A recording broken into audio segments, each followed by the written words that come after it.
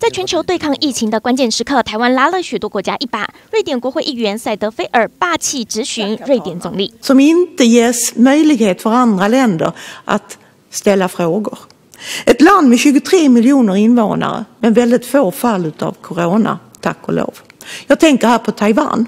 Och jag undrar om statsministern är beredd att aktivt arbeta för att Taiwan ska kunna bli en fullvärdig medlem av WHO.